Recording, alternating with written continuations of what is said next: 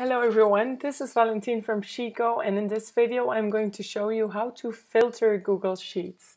So let's say we have this issues database right here where we have some bugs, other errors in the system and we need to send the information, the data from the critical bugs to our manager, for example.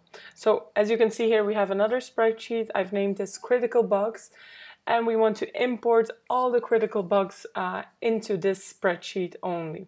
So this, I will show you now how to connect Google Sheets and only connect the filtered data.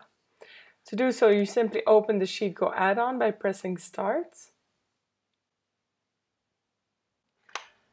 You click on Connect Files and here we select a data source, so the, the source where we want to import the information from our issues database. So click on Select Files. This will open our most recent visited files and folders, but if you don't find it easily, you simply search by the name of your spreadsheet, Issues Database.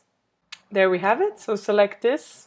We've now added our data source, and of course our data destination is this spreadsheet critical bugs. We now, of course, want to filter. We can give the connection a name to only have the critical bugs. There we go.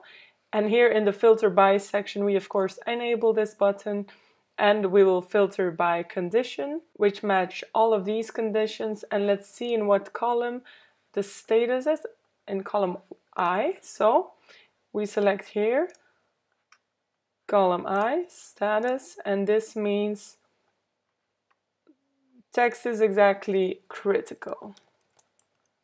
There we go. This is how we will filter out only the critical bugs from our issues database. Click on save the connection and it will import only that information. As you can see, the connection is updated. SheetGo created a new tab, the critical bugs. And here we will find only the critical bugs from our issues database. This is how you filter by condition in Google Sheets using SheetGo. If you have questions about this, don't hesitate to contact us. Thank you.